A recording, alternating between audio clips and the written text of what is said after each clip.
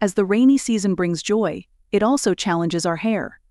The increased moisture can lead to issues like greasy hair, dandruff, itchiness, and hair fall. A wet scalp can weaken our hair, which leads to such issues. To get the joy of the rainy season without damaging your locks, take note of the below hair care tips for the monsoon. Oiling.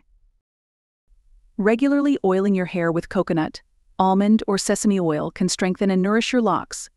A good oil massage provides essential nutrients and forms a protective barrier for your hair during the monsoon. Wash away rainwater.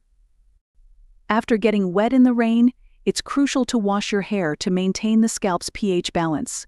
Use a nourishing shampoo and conditioner to cleanse your hair thoroughly and prevent excessive sebum production that can lead to hair fall. Healthy diet.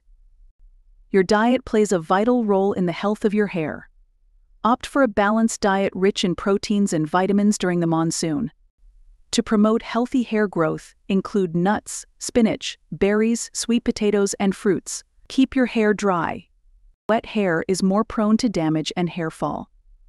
To prevent issues, ensure your hair and scalp stay dry during the rainy season. Hair care routine.